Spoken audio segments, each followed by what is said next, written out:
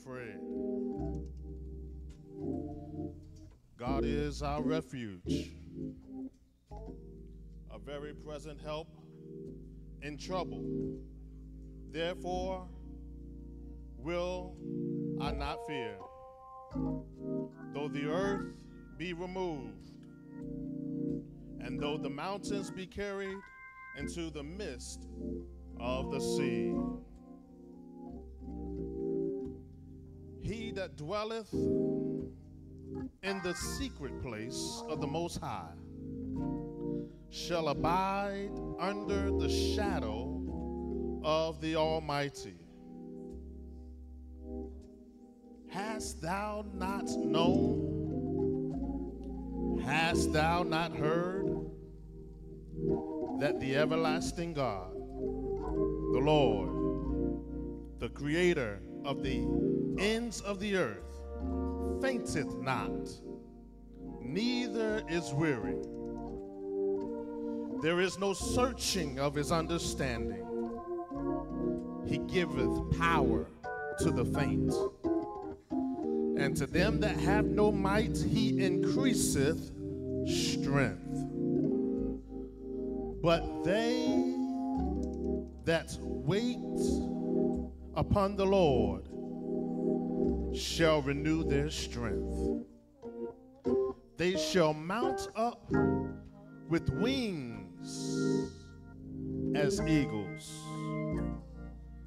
They shall run and not be weary, and they shall walk and not faint. Blessed are they that mourn, for they shall be comforted. Jesus said, I am the resurrection and the life. He that believeth in me, though he were dead, yet shall he live. Let not your heart be troubled. Ye believe, believe in God, believe also in me. In my Father's house are many mansions.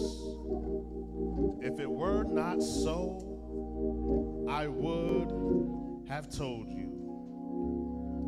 I go to prepare a place for you. And if I go and prepare a place for you, I will come again and receive you unto myself, that where I am, there ye may be also. And whither I go, ye know, and the way ye know. Thomas saith unto him, Lord, we know not whither thou goest, and how can we know the way? Jesus saith unto him, I am the way, the truth, and the life. No man cometh unto the Father but by me. Peace I leave with you. My peace I give unto you. Not as the world giveth, give I unto you. Let not your heart be troubled, neither let it be afraid. For I am persuaded that neither death, nor life, nor angels, nor principalities, nor powers, nor things present, nor things to come, nor height, nor death, nor any other creature shall be able to separate us from the love of God, which is in Christ Jesus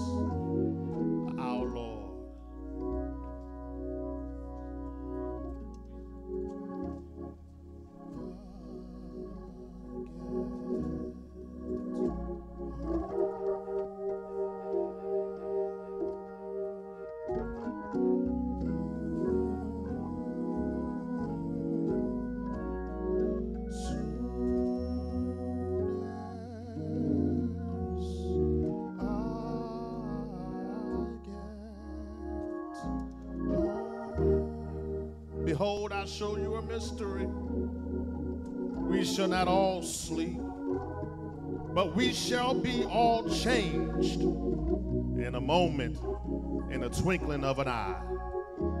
At the last trump, for the trumpet shall sound, and the dead shall be raised incorruptible, and we shall be changed. For this corruptible must put on incorruption, and this mortal must put on immortality. So when this corruptible shall have put on incorruption, and this mortal have put on immortality, then shall we shall be brought to pass the saying that is written Death is swallowed up in victory.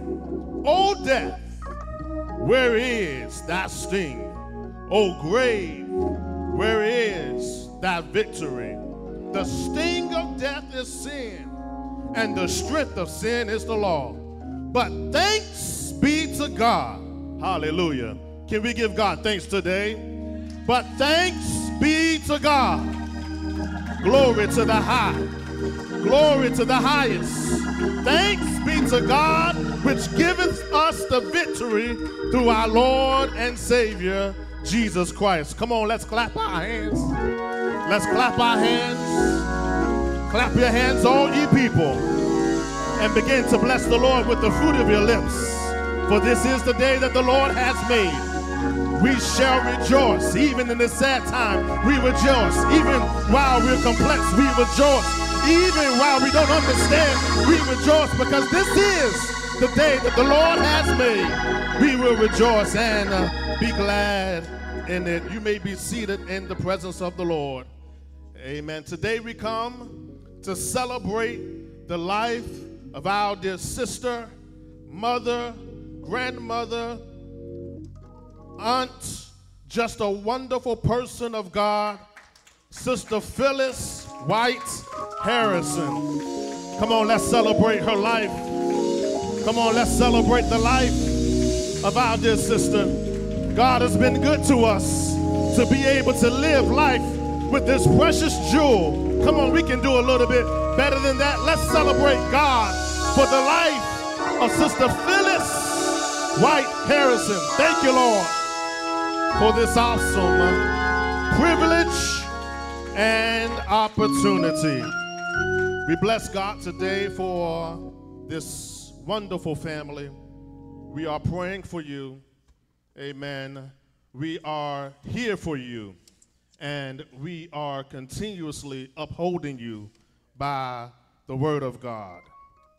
We praise God for the pastor of the Better Life Church of God in Christ, none other than our superintendent, Superintendent Dwayne S. McNair Sr. God bless you, sir.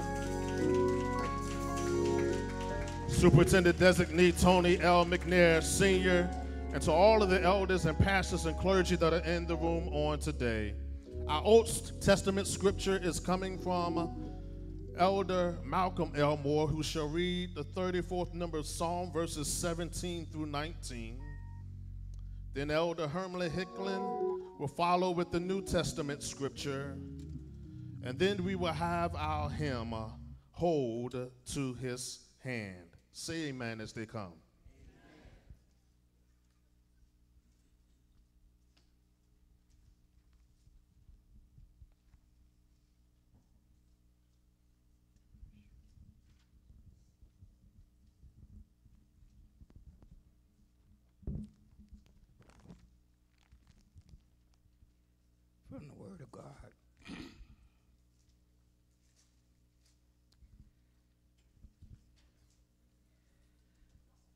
Psalm 34, the 17th verse. The righteous cry, and the Lord heareth, and delivereth them out of them all. The Lord is nigh unto them that are of a broken heart, and saveth such as be of a contrite heart. Many are the afflictions of the righteous, but the Lord delivereth him out of them all. Can we give God a praise for that?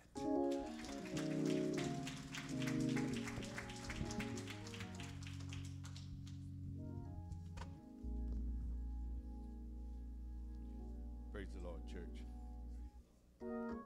Our New Testament scripture is taken from St. John 14, 1 through 3. And it reads, Let not your heart be troubled Ye believe in God, believe also in me. In my Father's house are many mansions. If it were not so, I would have told you. I go to prepare a place for you. And if I go and prepare a place for you, I will come again and receive you unto myself, that where I am, there ye may be also. May the Lord bless the reading of his word. Time is filled with swift transition. None on earth move can stand. But build your hopes on things eternal and hold to God's unchanging hand.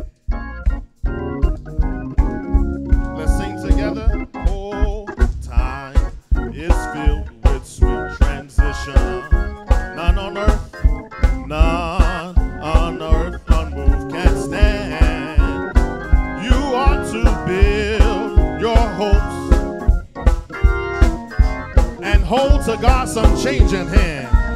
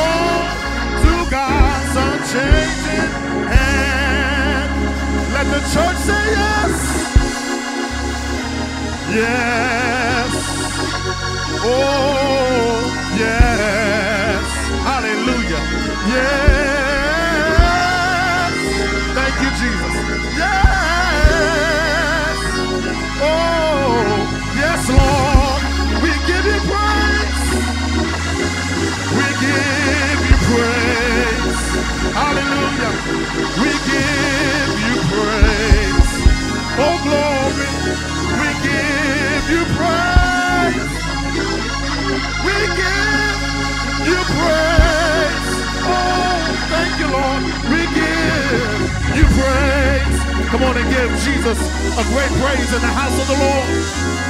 Come on, let's bless his name. Let's glorify him. Let's magnify him. Because he's worthy. He's sovereign. Hallelujah. He's omnipotent. He's holy. He's righteous. He's faithful. He's lovely. Oh, my soul loves Jesus. My soul loves Jesus. Soul loves Jesus. Bless his name.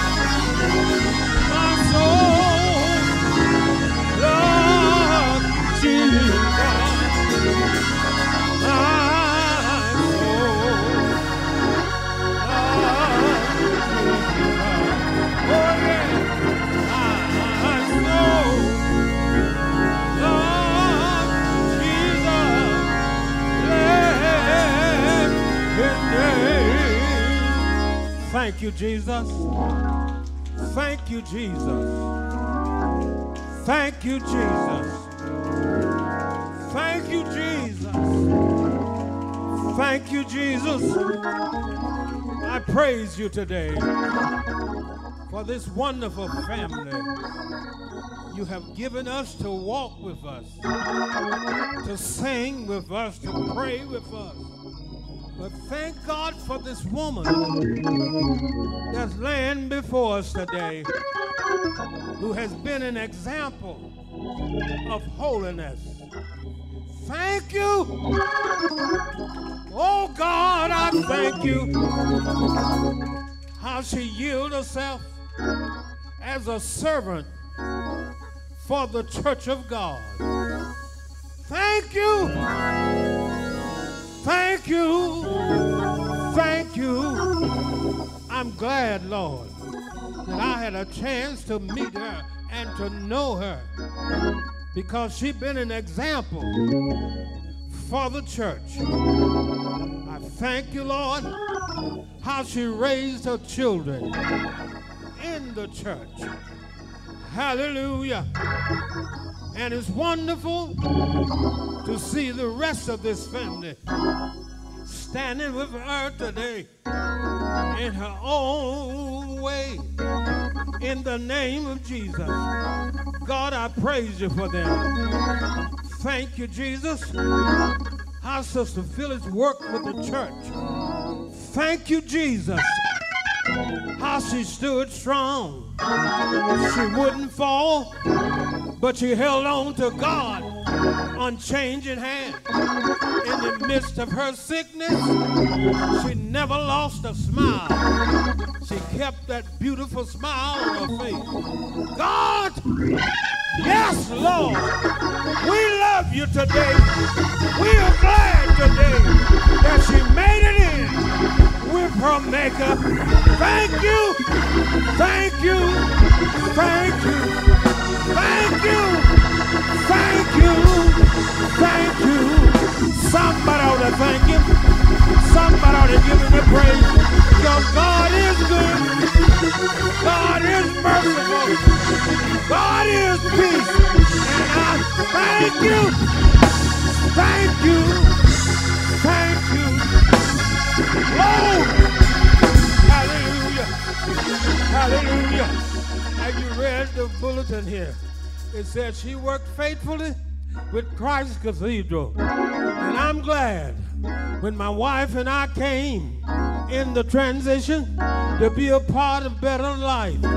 She waited until Pastor I got here. And she came to me and said, I want to know, is it all right to join church with better life? I say, yes, darling. We are together now. And we are going forward to do what the Lord say do. With the church say yes? Say yes. Oh, Lord. Excuse me, Pastor. I just feel like preaching. Hallelujah. Come on and give God a great big hand of praise. Hallelujah. Truly, we thank God for being here today. And uh, Elder Jonathan is coming at this time. But uh, it's most definitely, uh, I can say it's a sad occasion, uh, but it's a joyous occasion as well. Amen. Because we know that Sister Phyllis gave her life to the Lord. And that's a marvelous thing when you come to a celebration such as this. Sometimes you can't always have that confidence. Uh, but I'm happy today because this life is fragile. And uh, when I went to go visit her in the hospital, I was expecting uh, her not to be able to interact with me. And I went in there on one Sunday afternoon, one Sunday morning, and uh, I began to pray and I began to sing. And uh, Lavoya said, She can hear you. When I came in the room, she said, She can hear you. So I began to pray and I began to sing. And she opened up her eyes and looked at me. And I probably worshiped for about good 10, 15 minutes. And she worshiped right along with me that entire time. And I left there, I left there, I was sad. Yes. When I left there, I was sad because I knew what she had accepted. I knew that she had had a personal conversation between herself and God. And, uh, you know, we don't always want people to make the decisions that they make. But uh, when I left there, I was sad because I understood that. But then my heart began to rejoice because so many leave here without the opportunity or really you know, not knowing. The, the, the, the, Bible says he comes like a thief in the night. And you don't know the time, the day, nor the hour when the Lord shall require your soul. But I'm glad to know today that Sister Phyllis was ready for her Lord and Savior. Well done, thy good and faithful servant. You've been faithful over a few things. I make you ruler over many. Let's receive Elder Jonathan McNair at this time.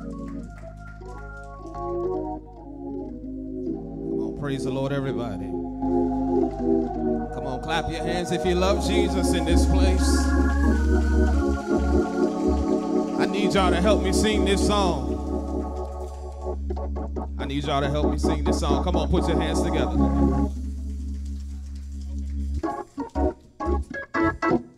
Come on, put your hands together. I need my choir out there to help me. If you're a soprano,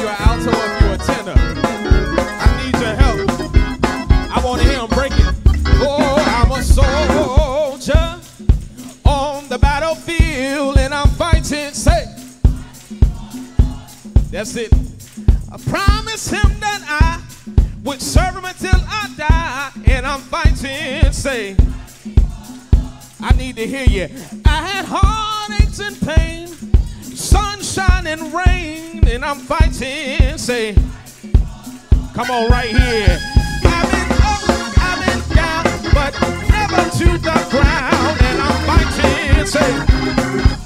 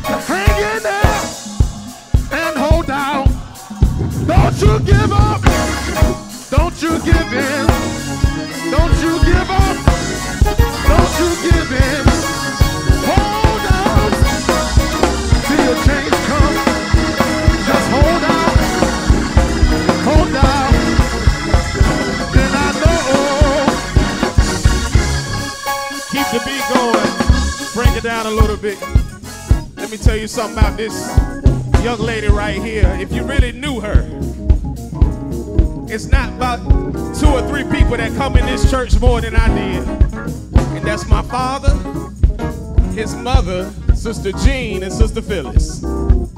But if you knew what she did, you will understand what I'm about to say.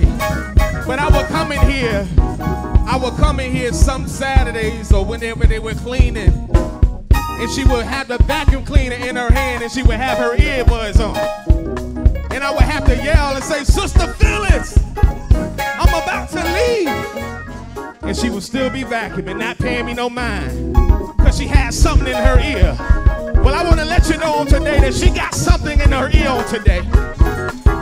And I don't care how much you miss her, how much you want her to come back.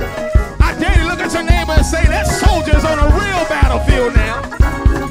And she got heaven in her ear.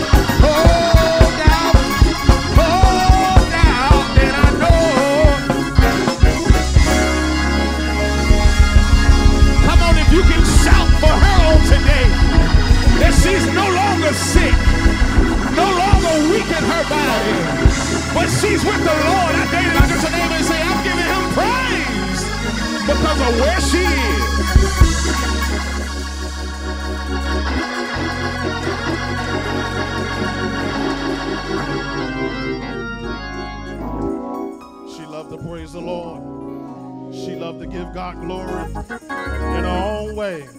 Quiet, reserved to herself.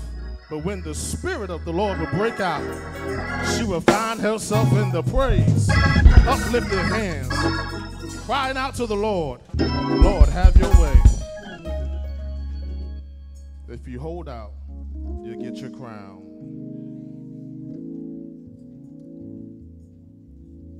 At this time, we will have reflections representing the church District Missionary Emeritus Emerita Verna McNair, and a representative from our the Portsmouth District, District Missionary Valerie Morris. Friends, missionary Doretha Allen, the one who she, she worked so closely with to keep our sanctuary beautiful, Sister Virginia Holt. And then uh, the family, her son in love, nobody like him, Elder Jamar Parker, and her nephew, Elder Kevin Blunt. We do ask that you would do your best to keep your comments to two minutes. Two minutes. Amen. Let's say amen as they come in that order. Following the acknowledgments, Sister Debbie Daniels, the church clerk of Better Life Church of God in Christ, will come uh, with acknowledgments, cards, and condolences. Special honor to our pastor, Pastor Dwayne S. McNair Sr., and to all who have gathered here to, today in this celebration, this homegoing of this great woman of God. And most especially to the family, Leroy, Kenneth, Andrea, and all of the family. We are praying for you. We honor you today and we are here to celebrate with you. Once again, God, in his infinite wisdom, has sent his death angel into this life and to receive one of our own in the person of Sister Phyllis Harrison, releasing her from her suffering, from her pain, and from her sickness, and calling her into a new and glorious life with her master. We cherish her memory of her beautiful Christian character, which she exemplified every day that she lived. She radiated the fruit of the Spirit. She radiated love. She radiated joy. She radiated peace, long suffering, kindness, goodness, faithfulness, meekness, and self control. And I added to that that she radiated servanthood, servanthood, doing what she could here at the church and supporting her church, the Better Life Church of God in Christ. Not only did she try to help beautify by keeping it clean, she also radiated a part of the church's ministry. And if I say this, you'll know what I'm talking about. Even after the pastor spoke the word and taught the word of God, guess what she had going on?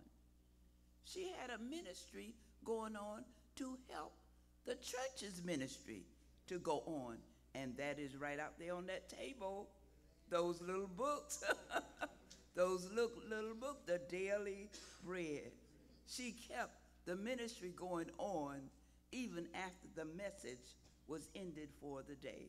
That we will really, really miss. But I can say this we're going to keep that daily bread ministry going on. We're going to keep that daily bread ministry right out there on that table. And we're going to remember her by that as a tribute of our love and remembrance of her dedicated life. We humbly submit and accept the unerring wisdom of God. He's too wise to make a mistake. And for that, we thank God. We thank God for the example that she left on record for her family. For her family and for her church. The Better Life Church of God in Christ will be in constant prayer for the family, with the family. Leroy, we love you. We are praying for you. Andrea, Kenneth, we are praying for you. We love you, and our prayers will be going with you wherever you go. Keep mom in your heart. She's gone on to a better place. But in your heart, she can live, and you can live out her ministry. God bless you. We love you. God bless you. To the family, I would like to read Lamentations 3 and 32. Though he brings grief, he will show compassion. So great is God's unfailing love for us. I just want the family to know so great during these hard times, so great is God's unfailing love for you. Trust in the love of God to bring you through these very difficult times. I love you all so very much.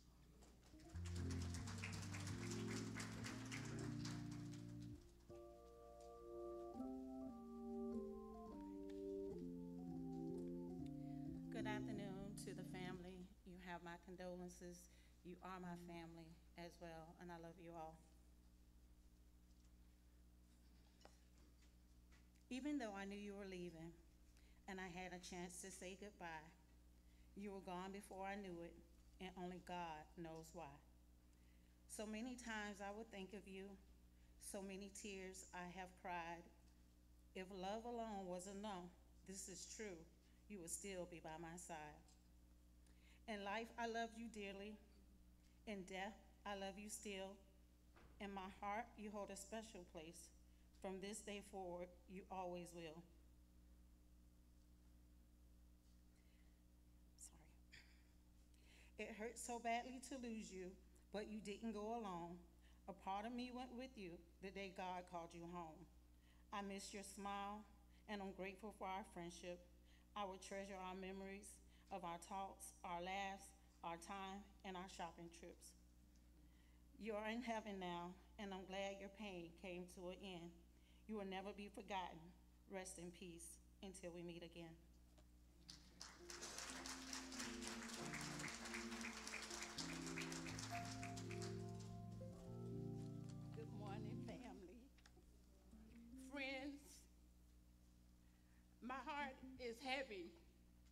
But I know God don't make no mistake. And so I'm just gra- grateful to be here to take a part in her passing until we meet again. Those special moments of you will always bring a smile. If only I could have you back just for a little while. Then we could sit and talk again just like we used to do. You always made so very much and always will to me. The fact that you are no longer here will always cause me pain, but you are forever in my heart until we meet again. I'm just grateful that I knew her, and I'm grateful for the relationship that we had, how we used to spend time on the phone just talking about the Lord and talking about scripture. So I know I'll miss her, but I realize even though I love her, God loved her more.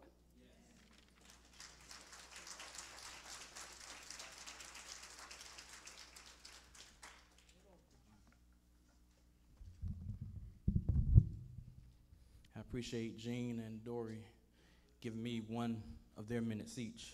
Appreciate that. I met Nana for the first time about two months into dating Little Shirley, or as most of you know, LaRoyal. And if you ever got to meet Mama Shirley, you know why that's one of my pet names for her. It was at Mama Shirley's house. Phyllis was rocking in a rocking chair in the living room with very few words to say that day. Being the first time that I met her, I didn't know if anything was wrong with her or anything like that. But she was smiling. Fast forward three months later, and there she was at me and Royal's wedding, congratulating us, welcoming me into her family, and smiling. And that would be a continuous thing that I would associate with Phyllis for the rest of the time that I knew her. That smile. it could easily diffuse a tense situation. It eased the heavy heart on a tough day, and it made Nana easily approachable. When Kira came into our lives, me and Roya were initially flying by the seat of our pants, being new to this whole parenting thing.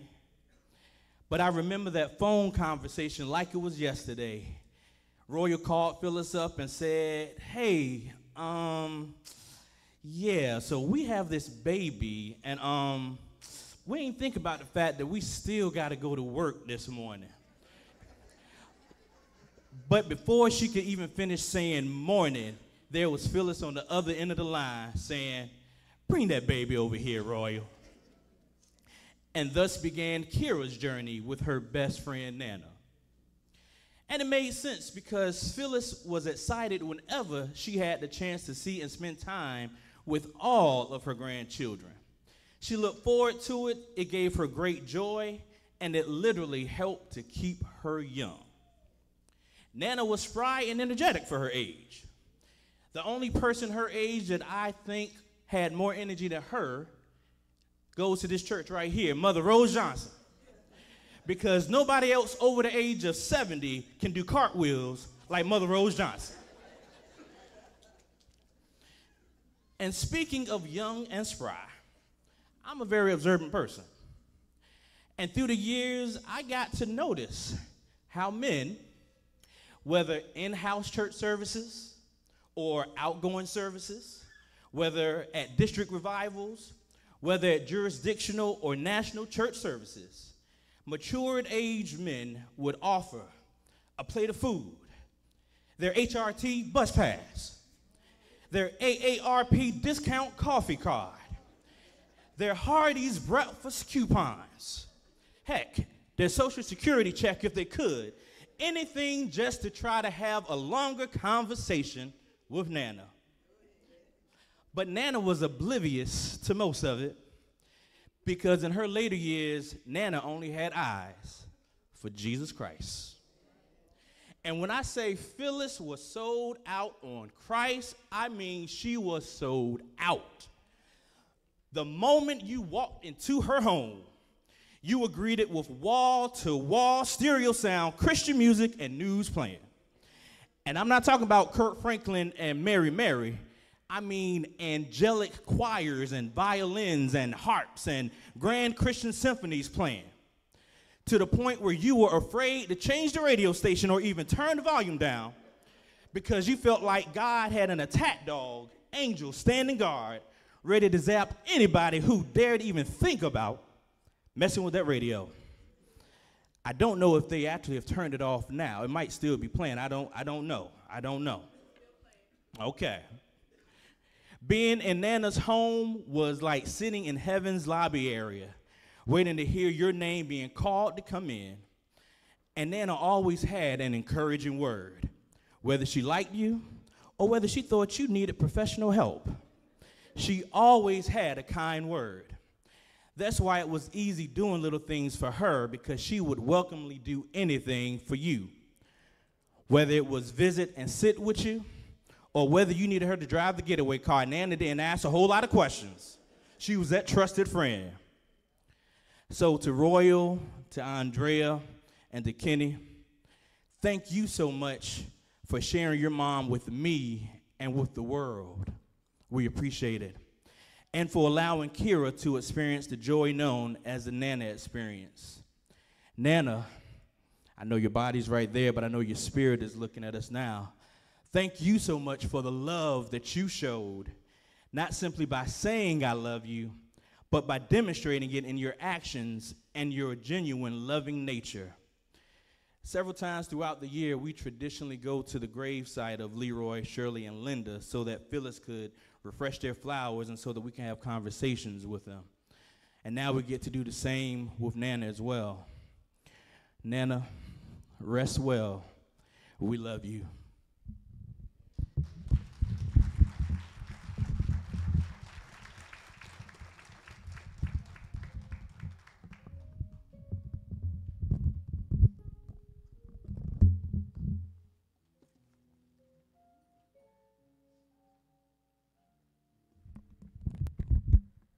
Good afternoon.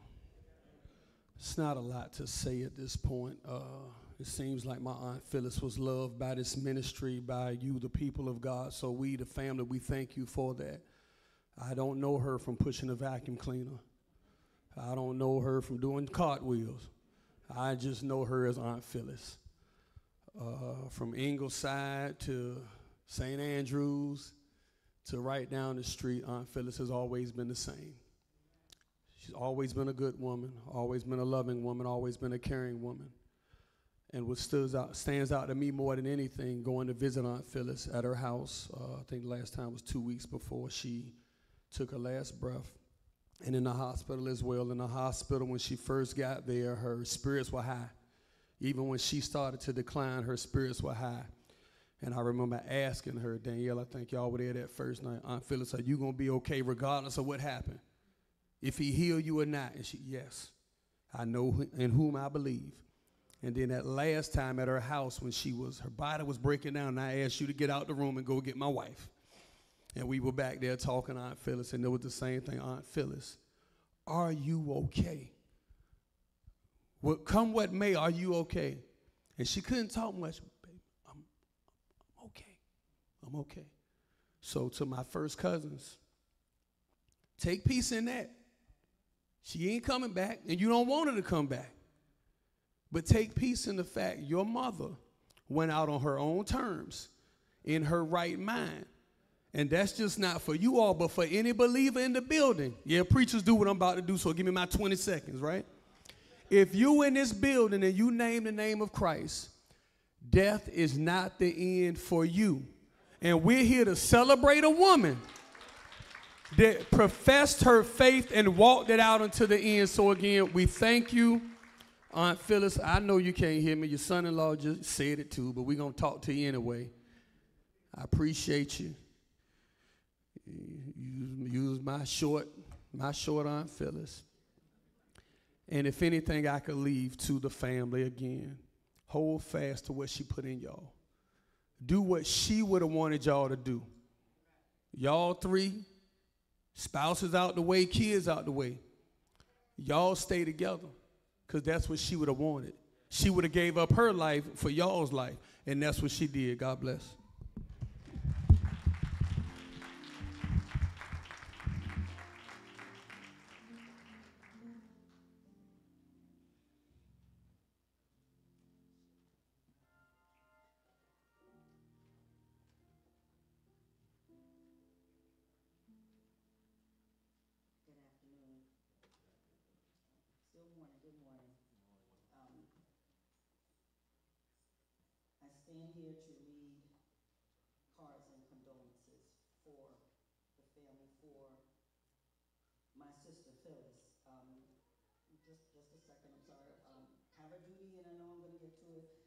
When I saw Sister Phyllis just before she hospital, um, like I said, that smile, um, offered to bring her chicken because, you know, and then when she couldn't swallow, I told her I would puree it, and if that wasn't enough, I'll put some Kool-Aid in it for her.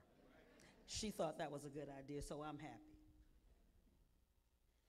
We have a, quite a few cards that came for the family. We're going to read a few.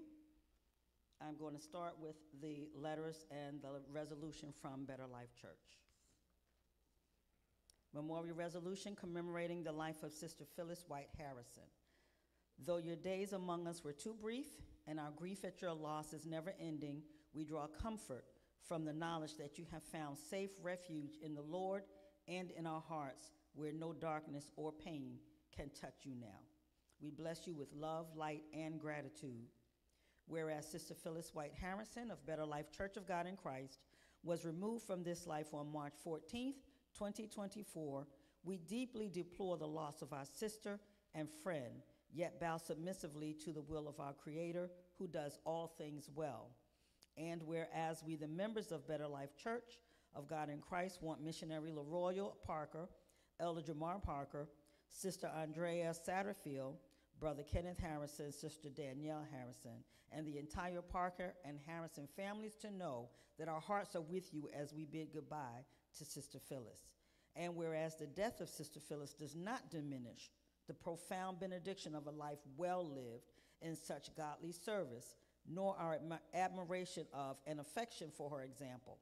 And whereas Sister Phyllis had a tremendous passion for serving God as she joyfully visited the sick, kept our church well maintained, and faithfully served at Better Life Church of God in Christ. Therefore, be it resolved that we tender our deepest sympathies to Sister Phyllis Harrison's daughters, sons, grandchildren, relatives, and all who are in mourning, and implore the God that we bestow that we serve to bestow upon them a large measure of his consoling grace. More importantly, we realize that this great loss to her family and to Better Life Church is truly heaven's gain. Therefore, be it resolved that as we bow to a greater will than our own, we rest in the knowledge that one day we will be united with Sister Phyllis again in joy and in the fullness of God's mercy.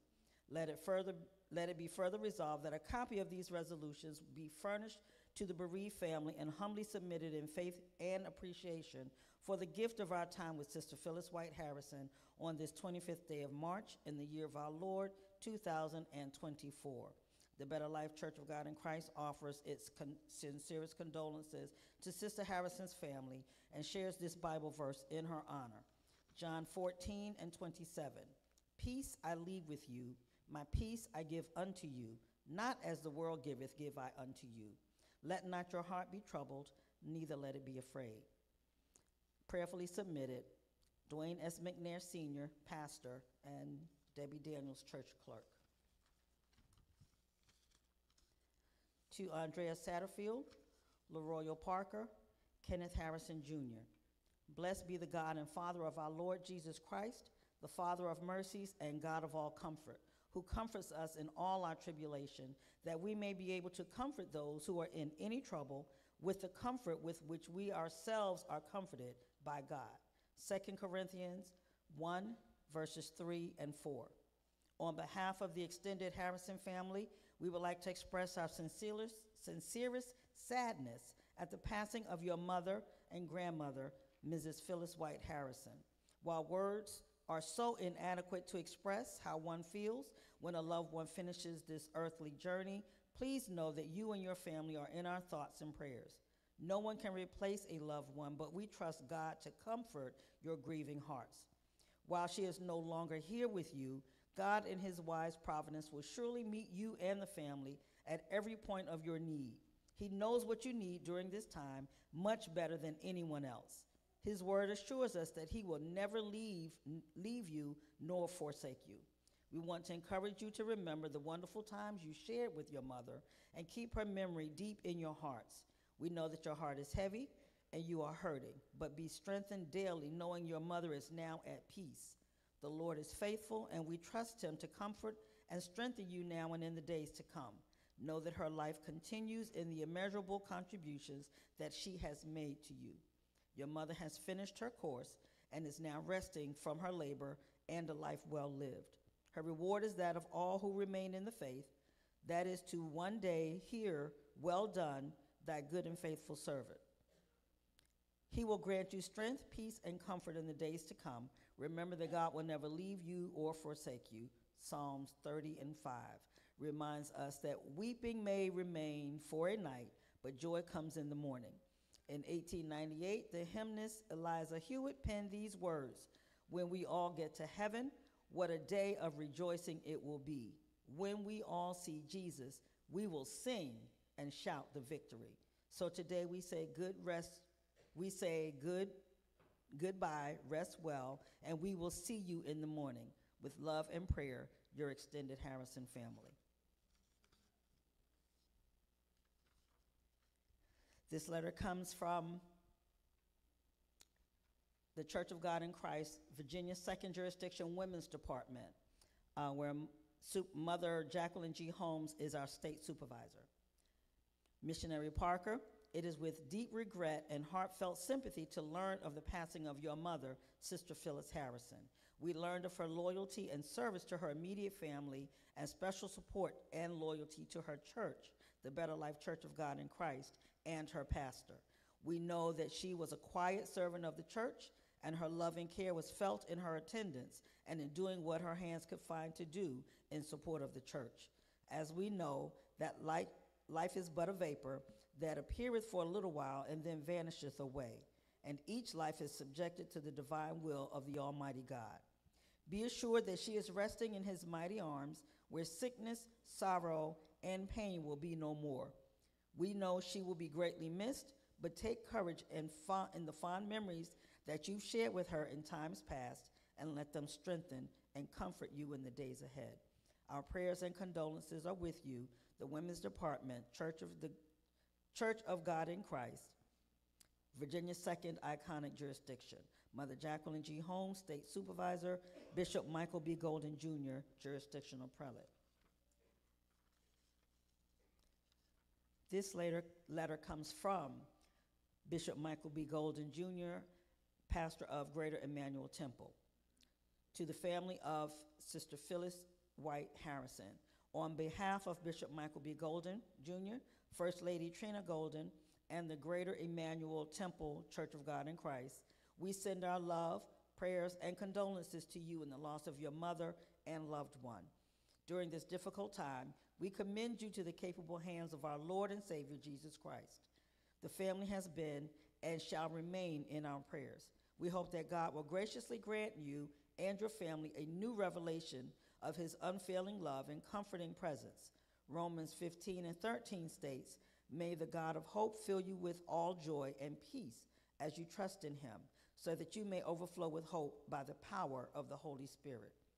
May his wisdom, power, and grace give you some immediate relief, sustain your healing process, and provide you hope for the living of these days. Know that, know that God promised that he will give you comforting peace and restore your joy on those difficult days. As you go through this time of bereavement, find comfort in the sweet memories of Sister Harrison. We will continue to keep you in our prayers. We pray that God will continue to give you peace and comfort. May God's grace and wisdom continue to be with you, for he promised strength for the day, comfort for the tears, and light for the way. We commit Sister Phyllis White Harrison to the merciful hand of her Creator and Redeemer. May you know the consolation of the Holy Spirit at this critical time of such irreparable loss. Humbly submitted this 22nd day of March in the year of our Lord 2024, Bishop Michael B. Golden Jr., Greater Emmanuel Temple Church of God in Christ, Pastor.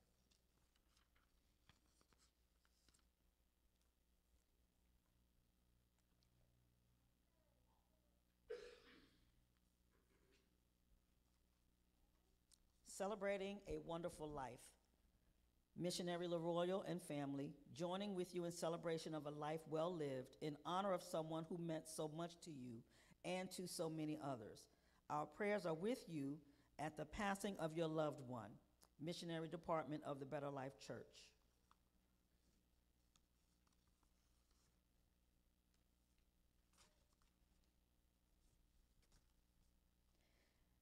As you mourn the loss of someone special, may you find peace in the love of family and strength in the care of friends. LaRoyal and Jamar, if you all need anything, let me know. I love you both, and my prayers are always with you. You have my condolences, LaShawn and Thomas. I think one more here is sorrow is not forever, love is. You've lost someone special. You've lost someone who held a special place in your heart and in your life. Although no one else can truly share the sadness you feel now, may memories of your loved one bring you peace and reassure you that love endures forever. Brittany Watson. In the presence of our of the time and noticing the time that we have, the rest of the cards have been read and they will be acknowledged by the family at a later time. Thank you.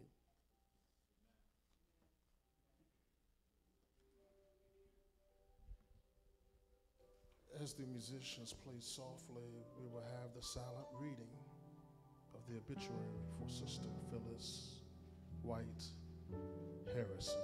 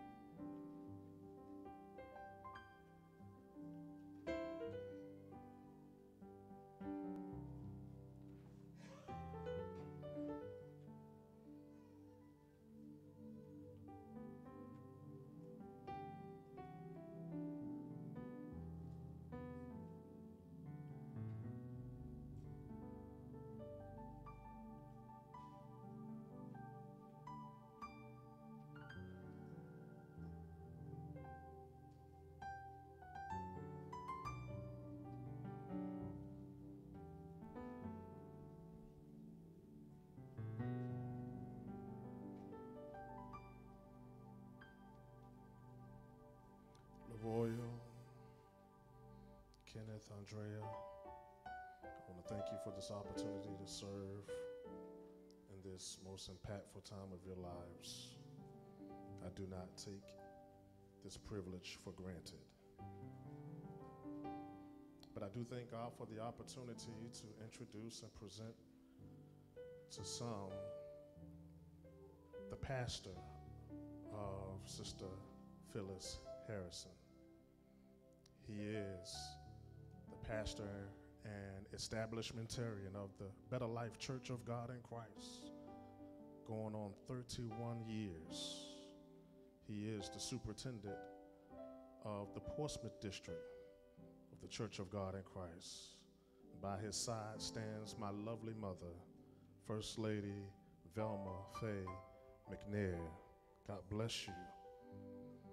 After this selection from evangelist Deshauna Hooker, everyone but the family will stand in honor and respect for the man of God who shall bring forth the word of God, Superintendent Dwayne S. McNair Sr. God bless you.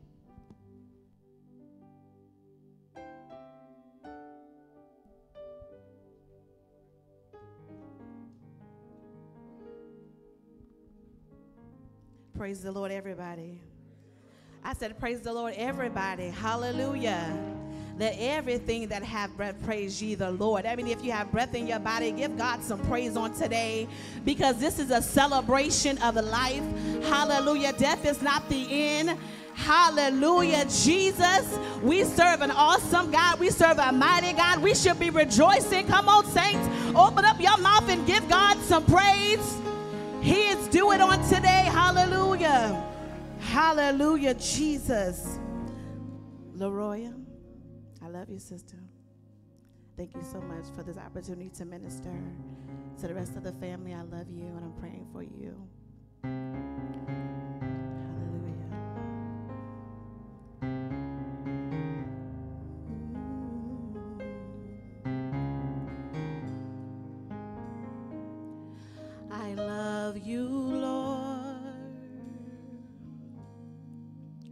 For your mercies never failed me.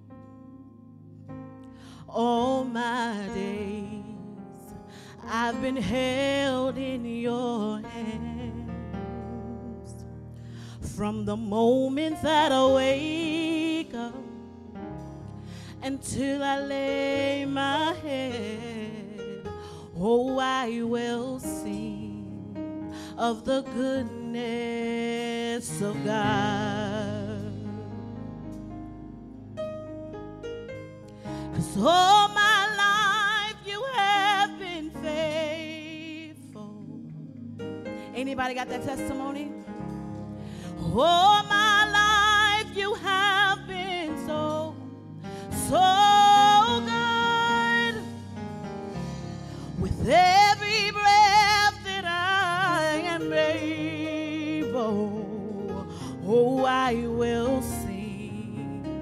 of the goodness of God.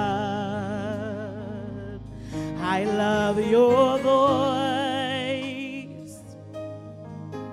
You have led me through the fire in darkness nights. You are close like no other. I know you as a father. I've known you as a friend, and I have lived in the goodness of God. Yeah, Cause all my life you have been faithful. Oh, yes, you have, yes. And all my life you have been so,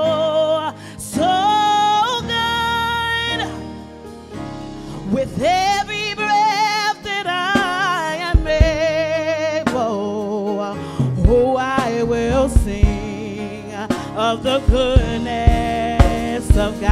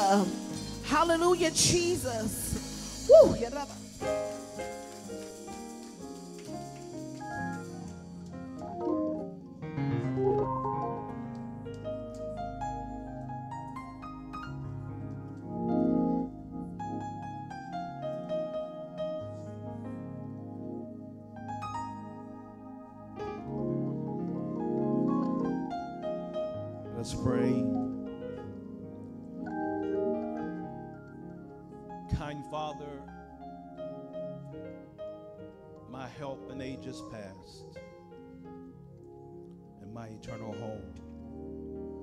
Today we thank you for this opportunity to come before you in the presence of your people. And God, before we ask you for anything, we're going to thank you for everything. You woke us up this morning, gave us our right mind, activities of our limbs. You are there all the time. God, we thank you for your faithfulness. Now let the words of my mouth, the meditation of my heart be acceptable in thy sight, O Lord, my strength and my redeemer. Let the church say amen. You may be seated in the presence of the Lord. A few acknowledgments before I go further. To Elder Pastor Dwayne McNair Jr. Amen. The pastor of Trinity Temple Church of God in Christ, we praise God for you and your excellence. Um, Evangelist Deshauna, I'm going to have to talk to Cece about you. Amen. I'm not afraid to say it. God has blessed that young lady with such an anointed voice in ministry.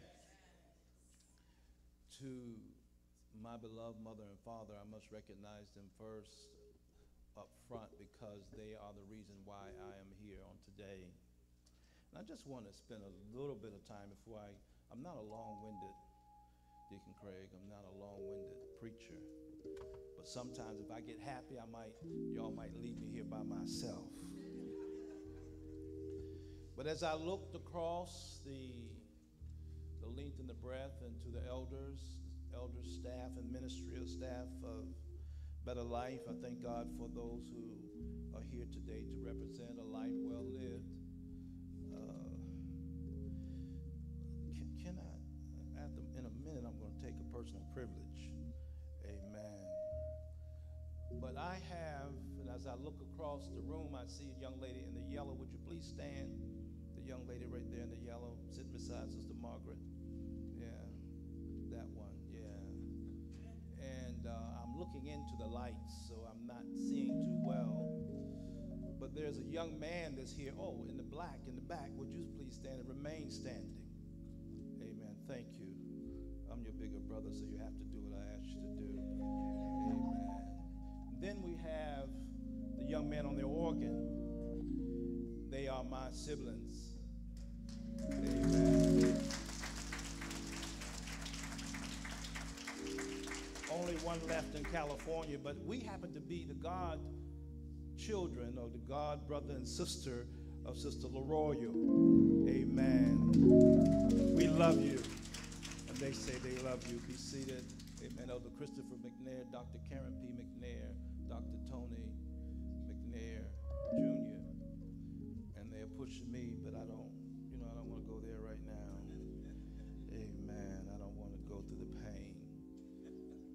everybody under the sound of my voice to this illustrious family. Amen. And uh, we did not hear from, and if I could just give you 30 seconds of my time, if you will come, uh, Minister Greg, I know that he is a highly decorated uh, person in the military. Amen. But he is a part of the family that was raised Wilson family. And if you would just come just for a moment and stand by my side, I know I'm kind of putting you on the spot. I hope I don't make any enemies, but this is recorded and it's being recorded live stream. And it's a part of the memories that we have. God bless you, my brother.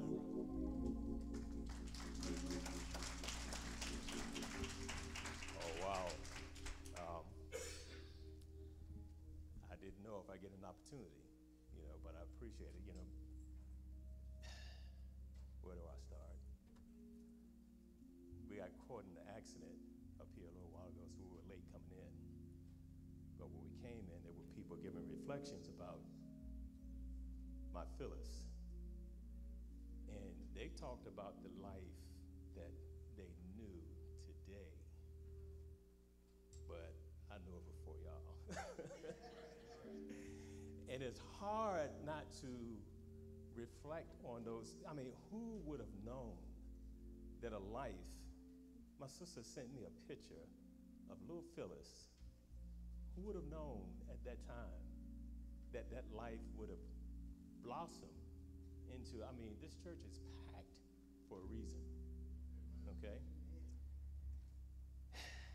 I think there are some things that stand out, and I'm, I'm going to try to, to just abbreviate because I've had so many different thoughts going on. I had to go to North Carolina a while ago, and I came back, and I had called Phyllis, talked to her. The last time I talked to her, she was like, I feel great. And I'm like, how is that? I would, but she sounded great, and she said she felt great. She was in a hospital at the time. But when I came back from my trip, I told my wife, I believe it was on a Wednesday, I said, I need to go see Phyllis. And then on that Thursday, I got a call Phyllis had passed. So I said, Well, why? I knew it was in my heart to go. So I just started reading in the book of Jonah. And I'll just sum it up, you know, that when you get an unction and God says to go, go now.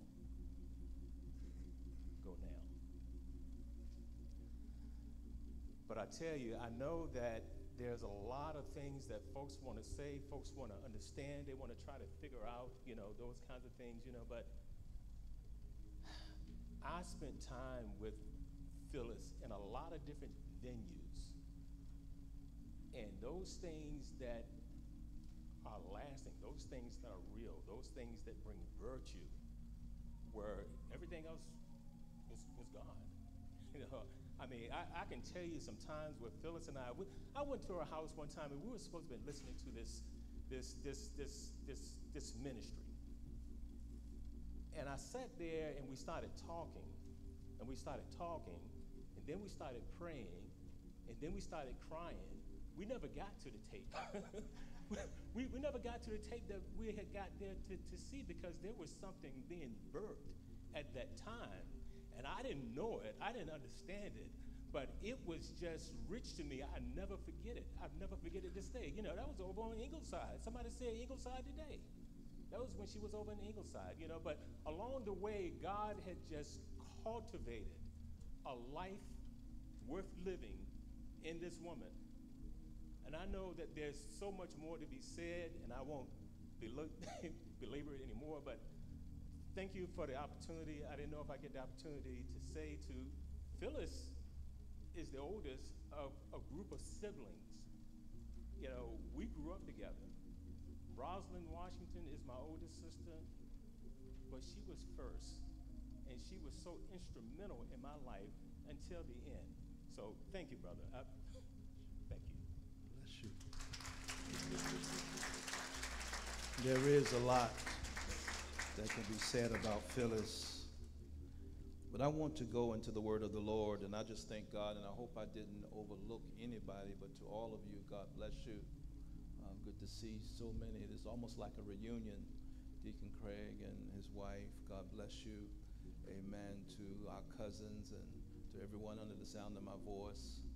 Uh, I thought I saw Elder Karen Robinson. Oh, she had to go. Amen. So many people came to show respect to this lovely family. Amen. Which we love so dear. And we want you to remember that and how God has blessed us. The word of the Lord is blessed.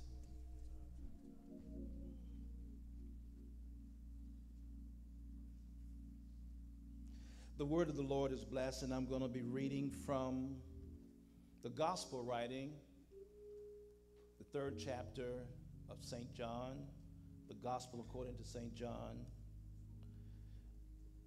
chapter 3, 16 through 19. And then I want to venture over as I close my message to the writing of St. John, chapter 14, 16 through 19.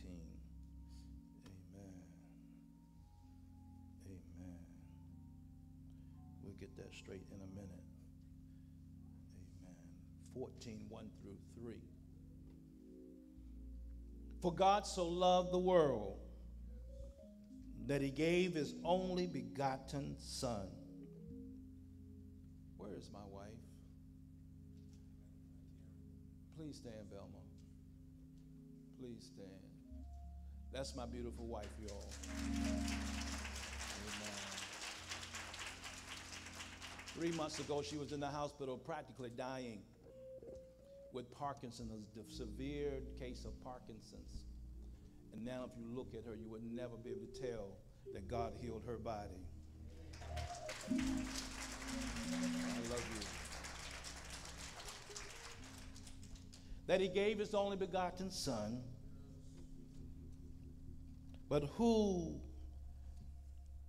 so ever believeth in him should not perish, but have everlasting life.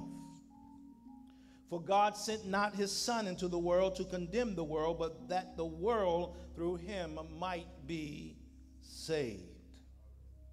He that believeth on him is not condemned, but he that believeth not is condemned already, because he have not believed in the name of the only begotten Son of God.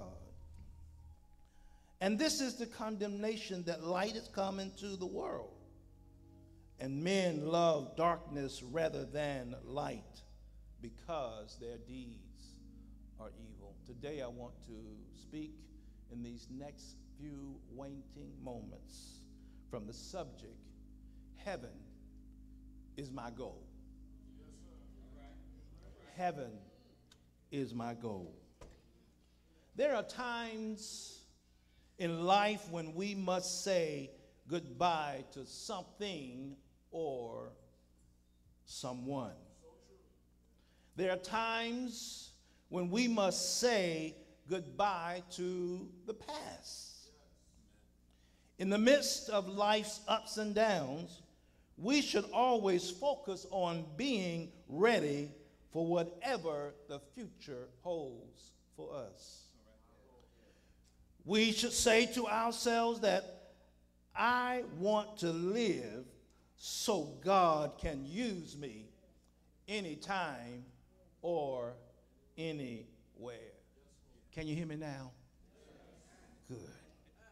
Not only were we created in God's image, but we were also created to bring glory to Him. That's why yesterday is so important because it is the DNA of who we are, what we have done, and the proof of our witness of our life here and now and the life that we lived.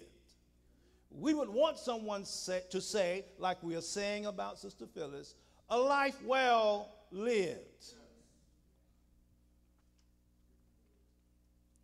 In short, our past will tell the story. So we must always remember that at some point in our life, young or old, we will have to say goodbye to yesterday. Yesterday is always behind us, it's in our rear view mirror. You can say that yesterday's got our back. Well, let me qualify that. Yesterday has your back because it will tell the story about you. Or we can say that yesterday can break your back to your future opportunities. Yesterday, yesterday, yesterday, yesterday, what I did yesterday. Somebody said you could never change what happened on yesterday, but I thank God, let me go to the end of the book, Elder Blood. Lord have mercy. Because at the end of the story, we can erase our past if we would turn our lives over to Jesus. We can erase our yesterdays where we made mistakes and this and that, and we all do, for the Bible declares that we have sinned, we all have sinned and come short of the glory of God. Yesterday. It's important for us to remember that we have to be careful how we manage yesterday because yesterday can come back and bite you. I heard a story one time about a person that took off on sick leave.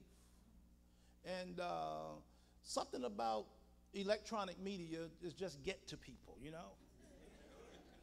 Called in sick, can't come into work. And then posted everything on Facebook while he was just vacationing himself to death. Hallelujah. They say that the internet is the, the attorney's lifeline. They don't need to do a lot of research. They can just go on the internet and lock you up from what you have exposed to yourself. Ask yourself, how do I say goodbye to yesterday? Just a few words about Sister Phyllis. Phenomenal young lady phenomenal, always had the same uh, demeanor, demeanor. And I know she was quiet like me, so I know she had a backside. because they say you have to watch out for quiet people. You mess with them long enough, and you will get just what you deserve. But she was always faithful, always kind, she was always ready to greet you with a smile and to say an encouraging word. And I'm not putting on. There are people, there are witnesses everywhere in this place that knew Sister Phyllis. They knew her love for God. And I remember the many, many pre pandemic hours that we spent in this church on noonday Fridays. She pressed her way to church every Friday to pray with the pastor and to pray with the prayer warriors, to pray that God would help our society, help our country, help our world.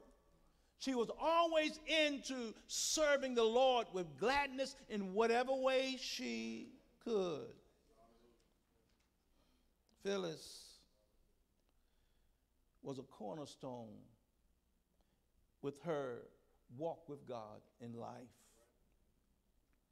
She had a lasting impact on us all. And many called her many things.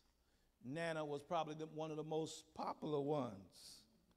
But when I visited Sister Phyllis, Phyllis, my friend and my sister in the hospital, I discovered a few things that she was ready. She was more ready than I was.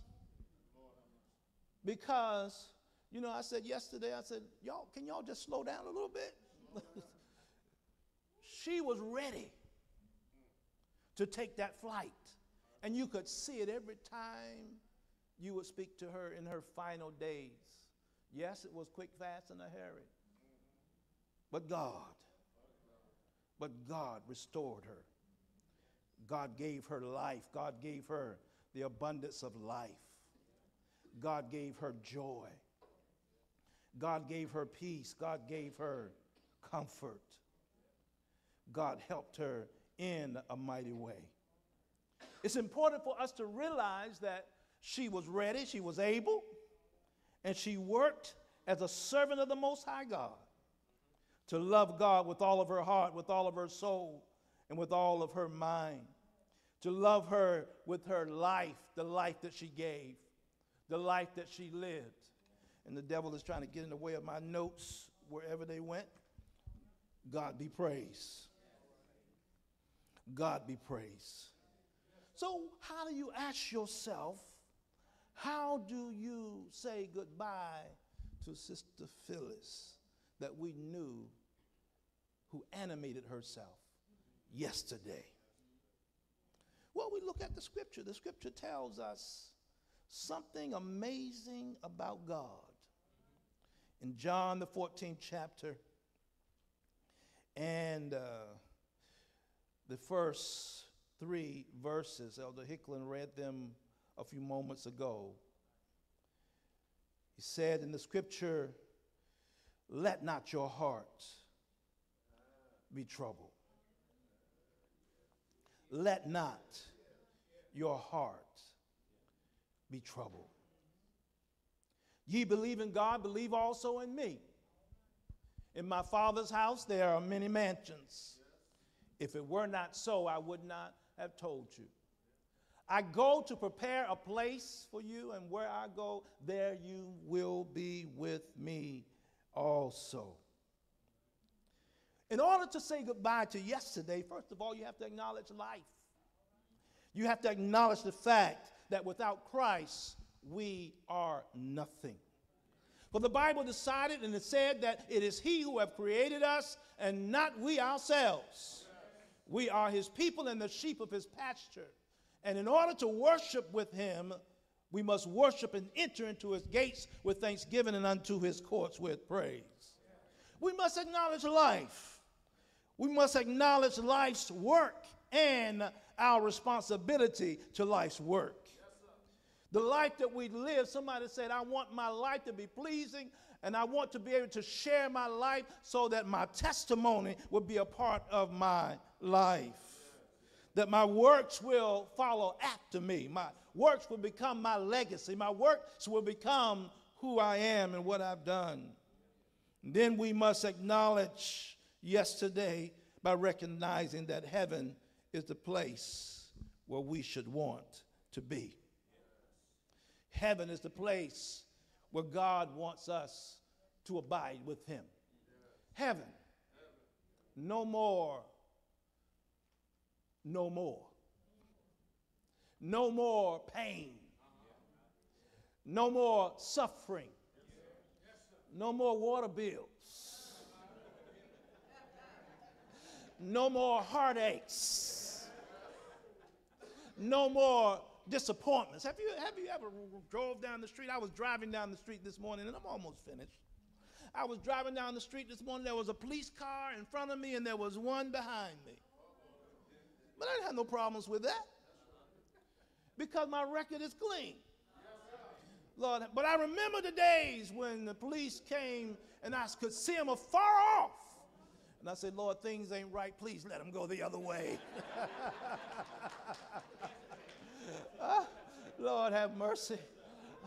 Uh, I, I, know y'all don't do stuff like that, but uh, you, you can get in trouble, you know, and a lot of times you get in trouble because of money issues one communion Sunday morning when I was very young in ministry with a young family coming down the street with my clergy collar on and a two bit hootie that decided to run when it got ready to run.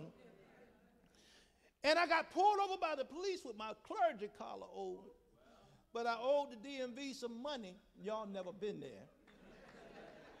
And, and, and my wife said, You gonna arrest him in his clergy collar?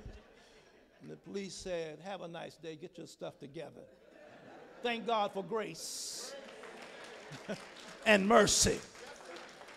You, you, know, thank God for grace and mercy as I look to the place where I want to be. I must recognize that the life that I live today has a plays an impact on the heavenly Father that I will see on tomorrow. He says, I go to prepare a place for you. And where I go, you're going to be with me also. That's what keeps me keeping on. I want to see Jesus and look upon his face. But I don't want to get to a place where he says, I never knew you because of my past. God, I want you to forget about my past and to forgive me of my past. And, and I know you can forgive me because you decided after 40 and two generations to come down and to shed your blood because you were the only one that was worthy of sharing your blood. Hallelujah. This week, Passion Week, Sister Phyllis, you decided to take your flight and your celebration on the week that my Jesus, hallelujah, a day after he drove into Jerusalem riding on a donkey. Hallelujah. He had a donkey parade, a parade of humility. He said that if somebody like Sister Phyllis and like Brother Dwayne are going to be able to see heaven in his glory, I've got to die. So Jesus decided that he was going to die. And at any moment he could have gave up. At any moment he could have said it's not worth it. But when I look back over my life and I think things over, can truly say that because he died, I can live. Because he died, I can go to God in prayer and I can ask the Lord, say, Lord, forgive me. Blot out my sins. Blot out my transgressions. Forgive me of my sins. Give me a new life. Take me in to live with you. And Jesus said, I will. All you got to do is confess your sins. And if you confess your sins, He is gracious and just to forgive you of all unrighteousness. Thanks be to God that Jesus not only died, but on the third day, he rose, declaring all power is in his hands. And that's why somebody said everybody's talking about heaven ain't going because they don't want to go. You don't want to make that sacrifice to live a holy life, to live a life of the Bible, Not the life of a preacher, not the life of necessarily the church organization, but the life of the Bible on the inside of your heart. Sister Phyllis decided that she wanted to live a Bible life, a Bible believing life, giving her life to God in a great way, always faithful always loving, always kind. She decided that she wanted to make heaven her home. And when the time came, I could see it all in her eyes, I could feel it in her spirit. I told my wife uh, that she's not going to stay. She's ready to go. She could see heaven in her eyes and in her view. She could see heaven. Don't you want to see her? Well, if you're going to see her, you have to go where she is, live the life she lived, because our lives are a series of snapshots. Oh my goodness, we talk about the record that's kept in heaven, but many of us didn't realize when they were saying God has a record in heaven, we didn't realize that He had video too. Lord, have mercy, a video snapshot. And when you are living for Christ, you don't have to worry about your back because your past is in your back. But goodness and mercy is back there as well. And He will follow you all the days of your life, and you shall dwell in the house of the Lord. Goodbye, Sister Phyllis. I'll see you soon, sooner than later, sooner than we think, sooner than we can even imagine. Thank God that Sister Phyllis led a life of example before us, and that God is able to do it for you. Hallelujah. If we only would give our hearts and our life to Jesus, it's the best way to go. I heard someone sing the song that Jesus is the best thing that ever happened to me. When I was nine years old, God saved my soul. I was sitting on the front row in Vacation Bible School at Mason Memorial Church, 744 Gulf Street. And Elder Joseph Williams was explaining the salvation plan. And I said, God, is it that easy? Hallelujah. And when God saved me, I could feel the unction of the Holy Spirit confirming that salvation. Now, I want you to know you're not going to be perfect even after He saves you.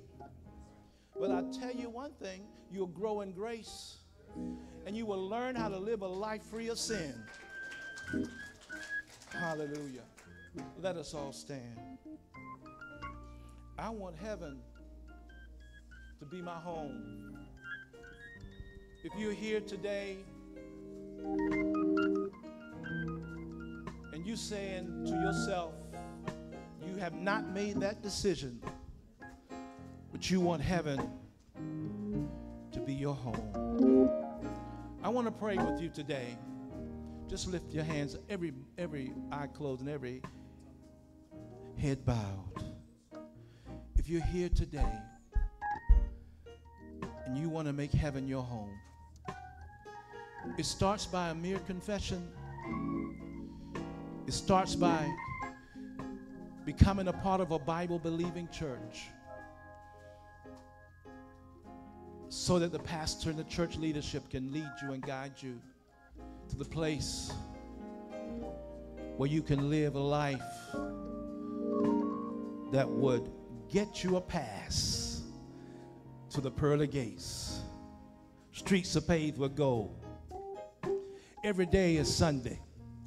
The Sabbath have no end. No more, no more, no more struggles. No more being detained in life. If you're here today, can everyone say this prayer with me together for the unbeliever? Father, I come to you now asking you to forgive me of my sins and to destroy my transgressions. Save my life. Save my soul. God, I want to make heaven my home. I want you to live in my heart. Forgive me. In Jesus' name, amen. Come on, let's give the Lord a hand praise.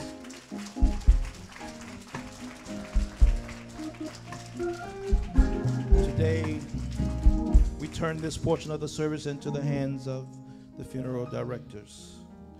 If anyone could ever write my life story,